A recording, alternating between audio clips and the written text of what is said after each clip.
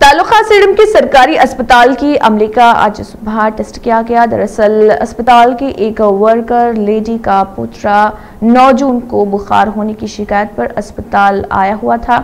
उसका मुआयना किया गया और उसका टेस्ट लेकर गुलबर्गा रवाना किया गया था, जिसकी रिपोर्ट गुजशत शाम मौसू हुई, जिसमें उसके कोरोना से मुतासर होने की तस्दीक हुई, जिसके बाद सुबह तमाम अमले को, जिनमें डॉक्टर्स नर्सर्स सफ़ाई सुथराई के वर्कर्स कैंटीन के अफराद और दवाखानों में शरीक मरीजों का नाक और गले का टेस्ट किया गया।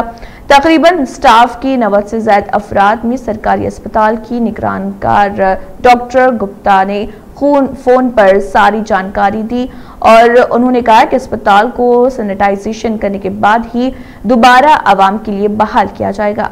तमाम की रिपोर्ट 48 घंटे में बाद मौसू होगी, जिसमें पाँच साल लड़की की करीबी भी उन्हें 14 दिनों के लिए क्वारंटाइन किया जाएगा।